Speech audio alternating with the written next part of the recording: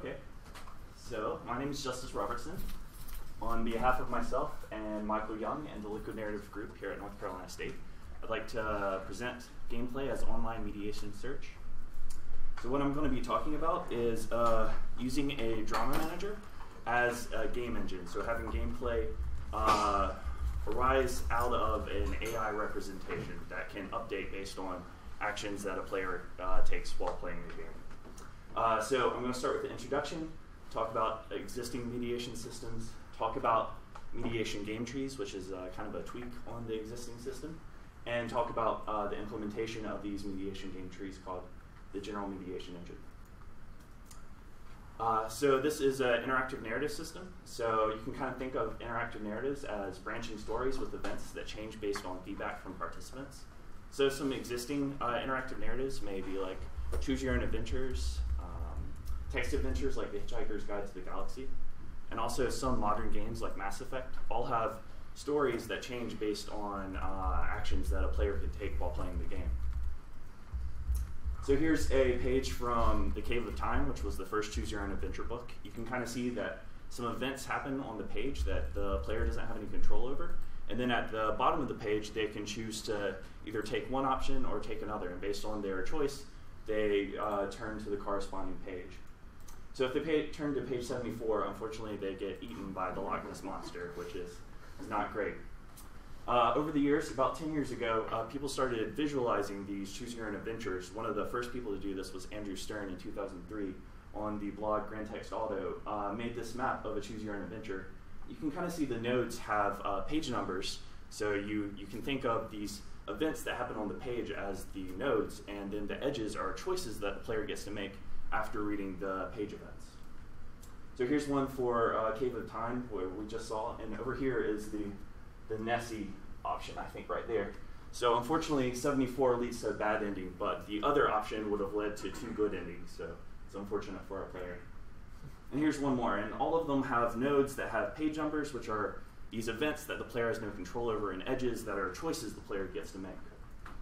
So you can kind of think of this as a story graph, uh, where once again, the nodes are actions that are taken by NPCs or that the player is taken automatically, and then the edges are decisions the player gets to make. And when the player plays through this, it kind of start at the initial state, get to make a decision, say D1, they move to a intermediate state, make another decision, and once they hit a node with no outgoing edges, they've kind of reached the end of their story. You can kind of think of this as a linear story that plays out as kind of a discourse between the uh, pre-scripted events and the actions the player chooses. So it boils down to a linear story that plays out. So it's really cool to have players choose uh, the way that uh, story progresses, but the unfortunate bit is that the more unique choices you give to a player, the more uh, stories that happen. So even giving three choice options per choice and three options deep, you're already at 27 uh, different stories. And it's tough for a human author to write one story, much less 27 different unique ones.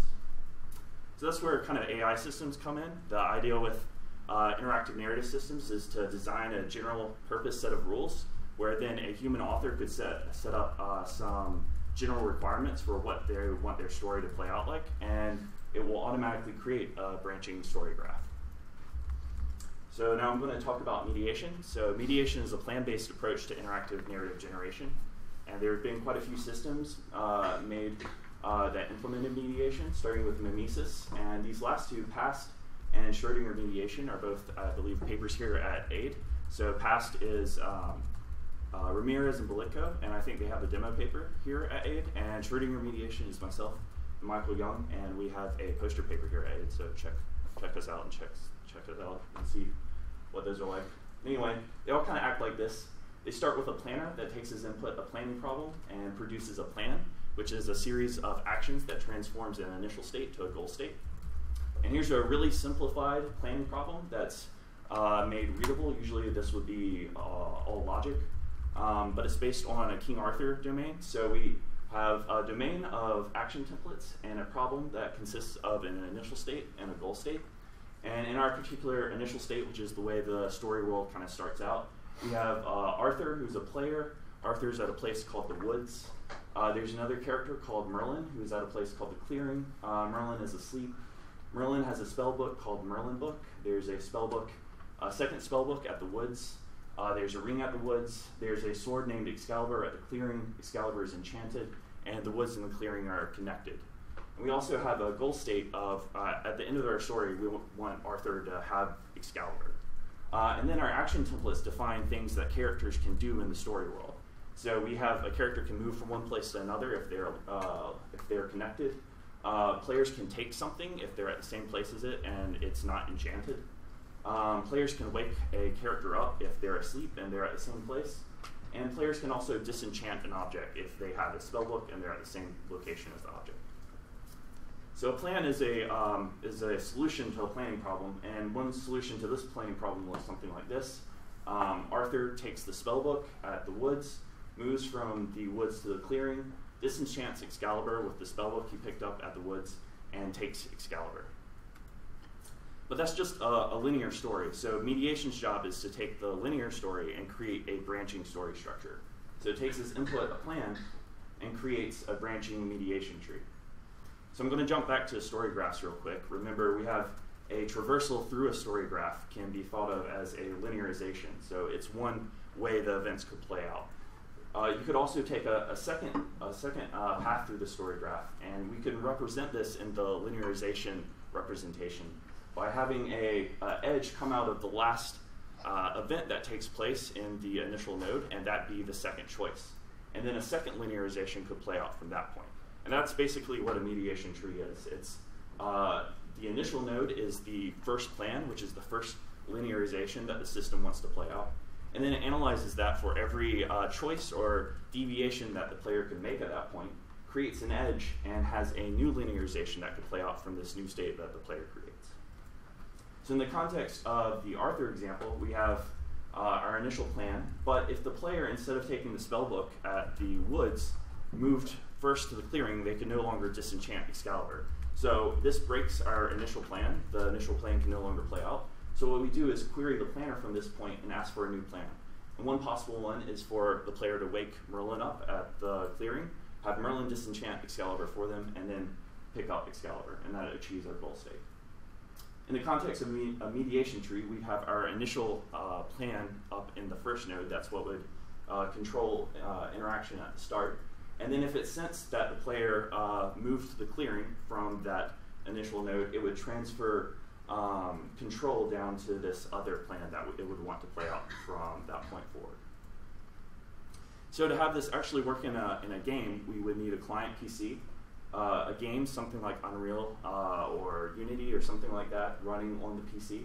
We would need mediation, uh, the mediation tree that's been generated by, by AI system. And in the middle, we need something called an experience manager, which would sense player actions over in the, in the game engine and also affect things when uh, based on what's going on in the mediation tree. You can kind of think of the experience manager as this robot and the game engine as an environment that's external to it. So it can sense things in the environment and it can also affect things in the environment. And it, it does this based on its internal model of uh, what's going on in the game world. But the difference between a physical world and the game world is that uh, the game world isn't external, or doesn't have to be external to our AI system. So we can move the game representation up and have it come directly from the, the experience manager's internal representation. And so that's what we've done here with a few tweaks. We've added a few things into a mediation tree and created something I call a mediation game tree. And with that, uh, that coupled with something called a discourse generator, which is just a way of presenting what's going on in the AI representation to the player, we can have gameplay arise directly from the AI representation. So I'm going to talk about the little differences between mediation trees and mediation game trees. So before our nodes were plans, but now our nodes are states, and we call the plan uh, a narrative trajectory, and it's been called that before, but it's, it's kind of the way that we want the story to play out.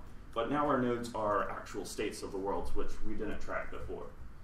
And we also tracking everything the player can do. Before we'd only track uh, their breaking actions, like them moving to the clearing, things that would break our initial plan, and also implicitly things like them taking the spell book, which is part of our initial plan.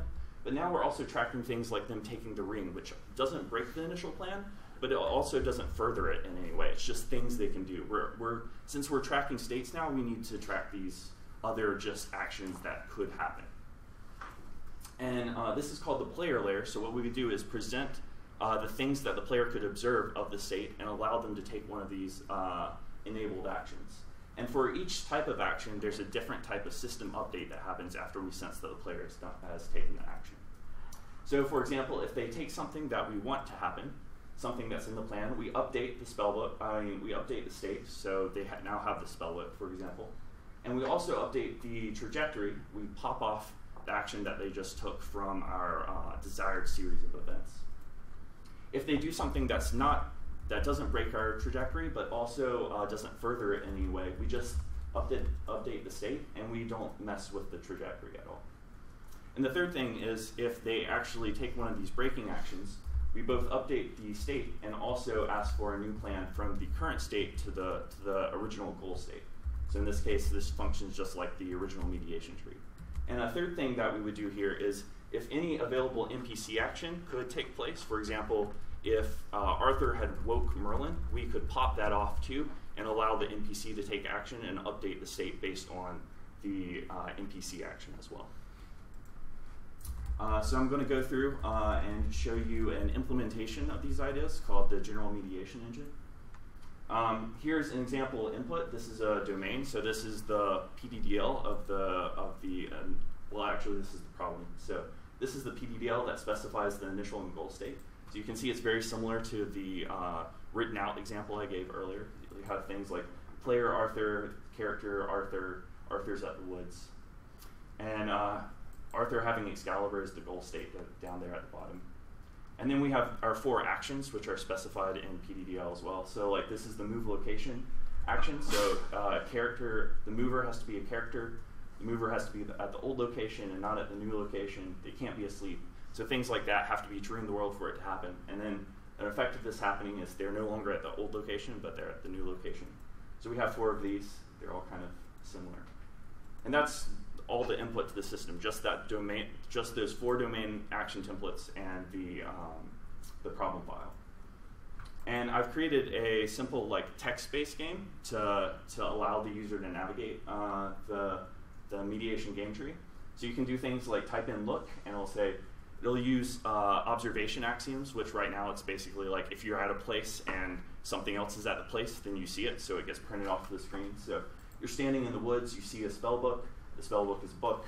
You see a ring. You see a door leading to the clearing. And it's also in debug mode, so it prints off the thing that it wants to happen, which at this point is just it wants Arthur to move to the clearing, wake Merlin, which was the the inverse of my example, but for some reason this is what the planner wants to happen is once uh, Arthur to move to the clearing, wake Merlin, disenchant Excalibur, and take Excalibur. So you can type in actions that correspond to your enabled player actions at this point. So you can take the spellbook, and up there at the top, it will tell you what happened in the world after you took the action. So the spellbook is no longer at the woods, and now Arthur has the spellbook. You can also see an update in the state. So now you no longer see the spellbook in the in the state that gets printed out. And that was a, uh, a consistent action, so it didn't break the plan, but it also didn't further it. So nothing about our trajectory has changed. Uh, so if we move to the clearing, this is something that the system wants to happen, so it pops that off of the top of the narrative trajectory. You can see that we're now standing in the clearing, so a new set of, of items gets printed out at the player. So you see Merlin, you see Merlin's asleep, Merlin has a book, you see Excalibur, it's a sword and it's enchanted, and you see a door leading back to the woods.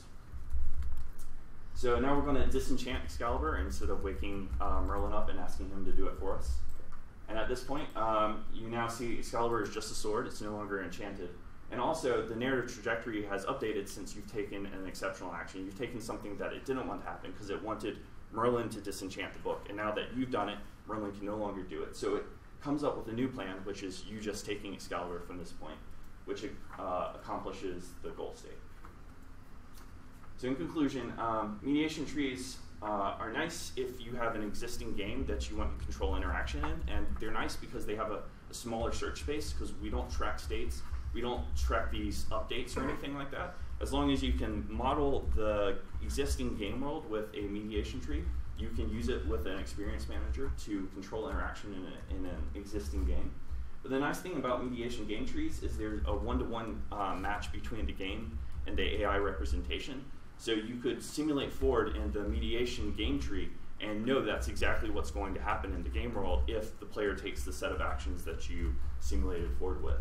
It also has a high-level world construction, so if you just create a new uh, domain and problem file and push that in, you'll get a new game experience based on. It'll still follow the, the rules of taking actions that are enabled by the system, but you'll get a new game world. Um, and also, I didn't mention this before, but it's the story generator is modular, so you can use this with any planner that takes as input PDDL file and produces a plan. Right now, I'm using Fast Downward, which is just an off-the-shelf state space planner. So here's uh, the web page where I got the Choose Your Own Adventure visualizations from the, from the start, and that's the end. Great, let's thank our speaker.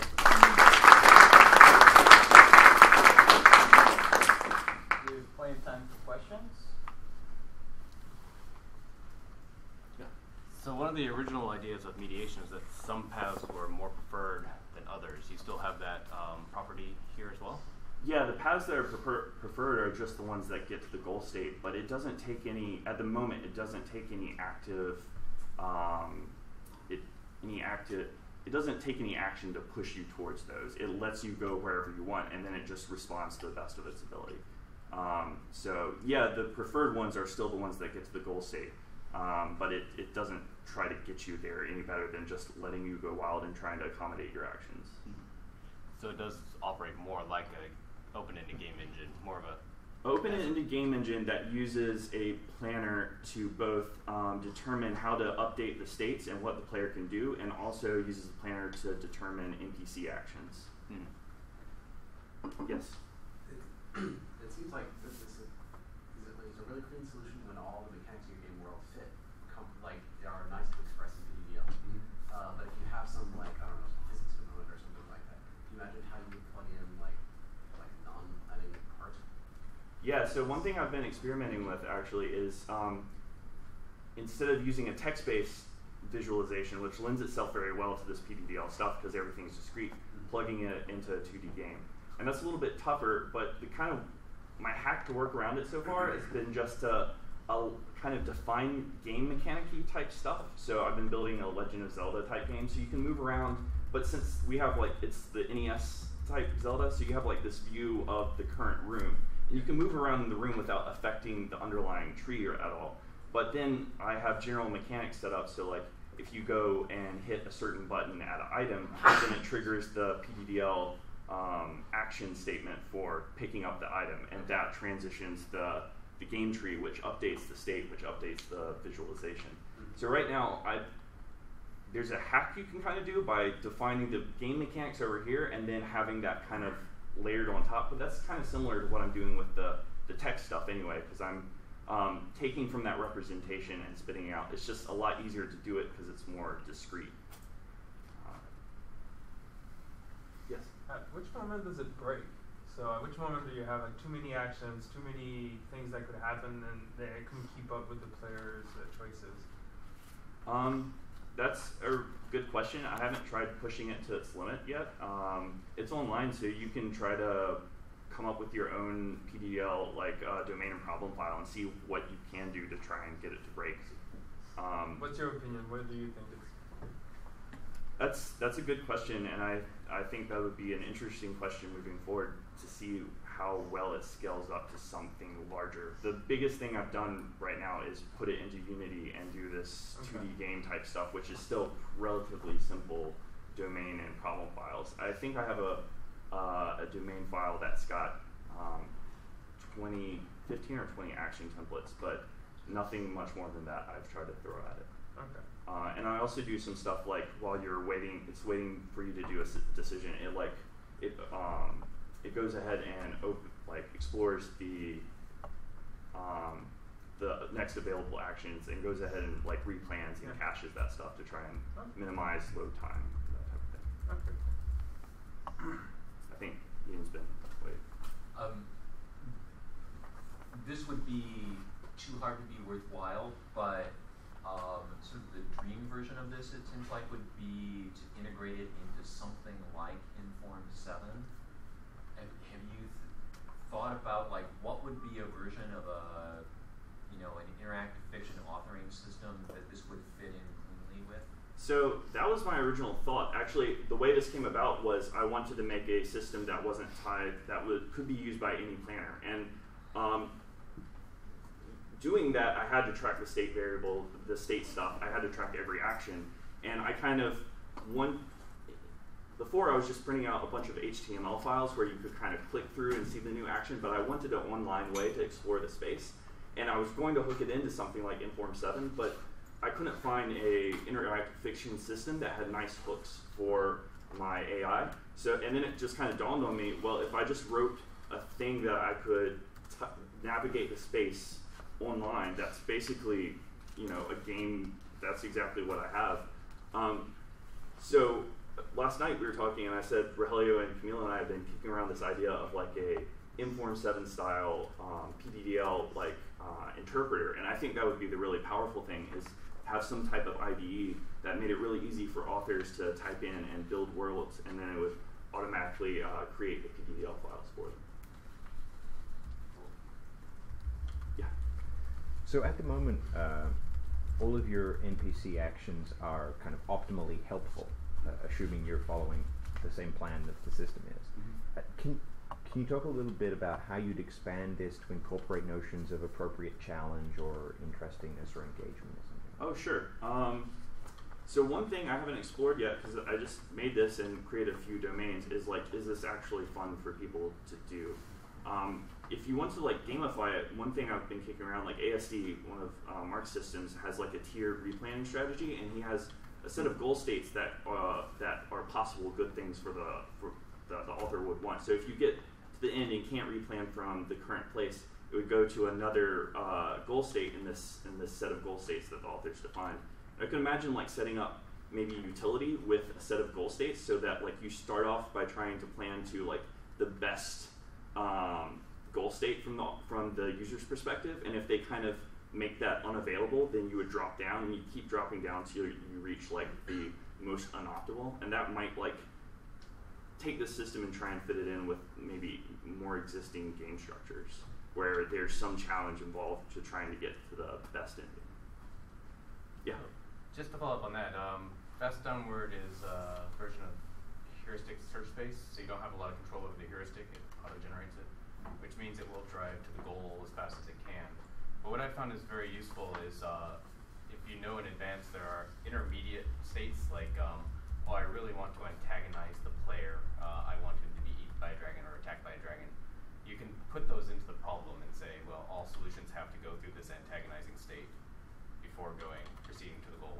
Uh, didn't Cavazza and um, have a paper that was talking about using state constraints to inform? Yes, but my paper in INT preceded them by a couple months. Oh. Today I learned. Small plug. See me afterward. Oh yeah. All right, let's let's jump ahead and, and, and try to drop this into a, a, some sort of AAA game. And how would you see the system accommodating in, a AAA game? The system accommodating the actions of the player, assuming that we're just going to have some sort of you know mono goal at the end that you win the game, but you know let the player succeed or fail or do it in a variety of different ways. Um, are you going to be using the results of potential plans for a given state space to inform NPCs of, hey, I need you to actually come over here and be with the player so that he could use you for this. I need to generate an item in this. Yeah. How would you do it without just, you know, a lot of magic wand stuff of, oh, and then you enter this room and look, you've discovered this, which you re- really, really want you to use. Mm-hmm. I mean, it, it is, can you seamlessly, can you imagine a way of seamlessly putting it into a, an open world type of game so that it is just gently leading the player along by affecting, without completely, you know, uh, destroying the, the uh, immersion of, and then this guy magically teleports to the room you're in. Yeah. So uh, as Mark was saying earlier, like um, he asked whether like there were certain guided paths, and I said like Sure, right yeah. now, I kind of let them do whatever they want. So it's kind of like an open-ended game. It's just that the NPCs will react according to what the planner desires. And the planner is a black box right now, so you could swap in any type of system that solves planning problems and does it different ways. So if you wanted, um, if you want, if you weren't happy with a certain story experience, then maybe you could plug in a different planner that would different generate different types of plans. The other thing uh, is uh, one thing I'm working on is um, changing the world, but always making sure that the way I change it, I'm not just randomly teleporting people around, but I'm tr- keeping track of what the player has seen and intelligently moving things around that's in the best interest of the system, but is always, also always consistent with what the player has seen. And that Schrodinger mediation thing that I mm-hmm. that I mentioned that's a poster paper is actually what that's. And, and I think that that's probably where I was elegantly was that how do you try to continue to accommodate the player without, you know, but you're almost having to do a planner for what you want the player to do, but then a planner also for how to get to the state that we want to be in for the player, you know, so that he can get to a state. Yeah, so it, it is a multi-tiered thing, and that's what I was wondering if you had any insight on that. So yeah, The ideal would be the player can do whatever they want, but still somehow the, the system kind of gets is able to guide them down a place where it feels seamless to them, but it may not necessarily be um, that open ended on the back end. I think it's all going to go together because your planner is going to say, "Oh, this is I think the best path." However, decides that, and I need to have this NPC here because there's going to be a handoff, whatever Right, your yeah. example was. Well, the planner is just going to decide. Well, if I think the player is going to go this way, then I need to start moving things in here. You don't have a temporal notion. You might want to extend the planner to get.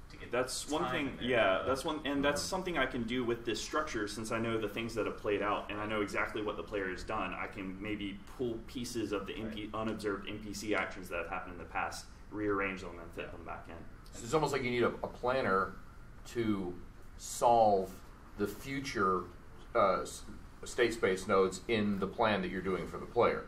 So it's like you're, you're trying to assemble these states that are out there in the future.